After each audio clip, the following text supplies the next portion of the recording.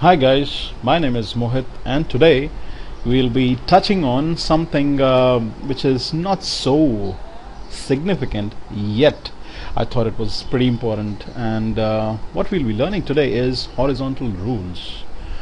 Now uh, the horizontal rules that Dreamweaver gives us are very simple, gray colored uh, and there's not much that we can do with them okay but I, I devised a, a method you know I tweaked uh, certain rules and I got uh, something which is really pretty pretty and nice. Okay let's see how I can actually have my own custom created uh, horizontal rules. Okay so let's start.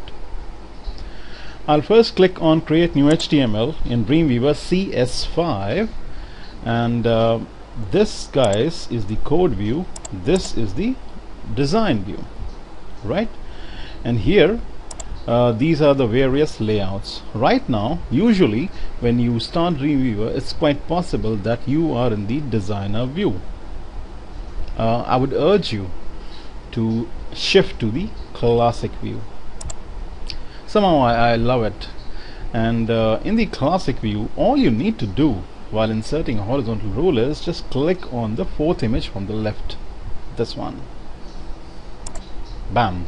And you have a horizontal rule horizontal line uh, running from left to right. And the code the HTML code for horizontal rule is HR okay? Uh, let me put some title here. Horizontal rule. And uh, let me save it as well.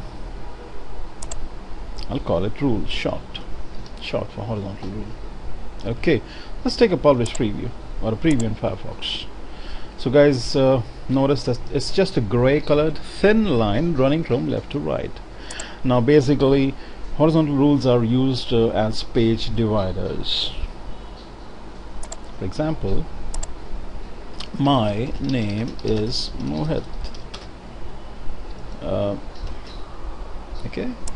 And this is the page divider guys uh, notice if I click on this horizontal line and I check the property inspector there's not much that I can do. I can uh, alter the width I can alter the height and uh, I can remove the shading or uh, insert the shading. But apart from that there's not much in the property inspector that can uh, make this simple horizontal rule look a little different colorful you know have some juice. It doesn't have much so as I said um, CSS rules are very powerful. Today we'll see the um, efficacy of the CSS rules and how it can even modify something as simple um, as a vertical you know a horizontal line into a very uh, cool looking uh, horizontal rule. Let's see how we do it.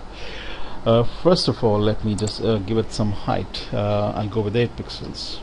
Okay I am deliberately choosing a little little bit on the higher side. That's because I want you to see it clearly. But you may choose a much lower value. You could probably end up uh, not more than 5 pixels but that's entirely up to you. And the next thing that I'll do is I'll come off the shading. Okay?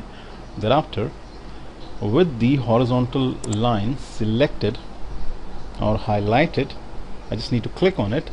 I will click on the new CSS rule icon which is this plus icon here under CSS styles I'm gonna click on that and I'm gonna drop down the contextual selector for your CSS rule 2 a compound the moment I do that, Dreamweaver understands that I'm applying my rule to all HR elements that are within the body, body elements.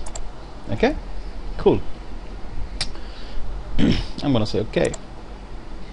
And now I'm gonna define my own rules. Uh, I'm gonna play a small trick here. Since the background color of the page is white, I'm gonna turn the mm, the horizontal rule white too that'll have the effect of making it disappear okay and then I will go down to the background uh, category and give it a background color of uh, let's say um, hash 060 it's a dark green color. Next I will go to the category which is border. Guys uh, you may be thinking that I'm doing something absurd but it isn't so. What I'm doing is something very sly and foxy. Just hold on and see the end product.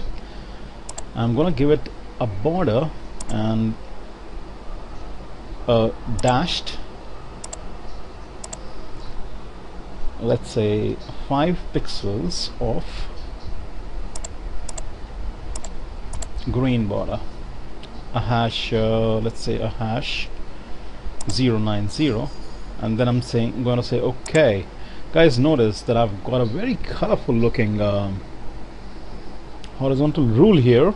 Okay let me take a published preview in Firefox to uh, show it to you Dreamweaver wishes to know whether I want to save the file. That's fine. Yes. And that's the published preview. Uh, probably you might not be able to see this horizontal line properly. It's uh, it's a pattern uh, dark green and a dull green pattern. Uh, this is, is, is, is, a kind of a texture that I got here. That's cool isn't it? Let me let me try some other variation. I'm going back to the horizontal rule. I'm gonna set the color of the rule to let's say um, uh, a red. And um, then I'll go to the background color. I'm gonna wipe it off. I'm gonna go down to the background category or rather border category. And um, I'm gonna make the dashed border solid. I'm gonna go for the width let's say 4 and uh, for the border color I'm going to go with the hash 900 that's a that's a maroonish color. I'm going to say OK and then let's take a preview in Firefox. Okay guys notice that it's a double colored thick uh, horizontal rule. The bottom is uh, maroonish and the top is reddish. Okay so guys this way playing around with the um, CSS rules you can create your own custom colored multicolored uh, um, horizontal rules. You can even use uh, background uh, textures instead of background colors. So there's so much that you can do. You can just play around with the the body HR rule okay? And uh, come up with something that is really cool. I hope you like the tutorial. There was not much to it though but it's a cool little uh, sly trick. I'll see you next time with yet another tutorial on Adobe uh, CS5 probably Flash or even Dreamweaver CS5 bye bye have a good time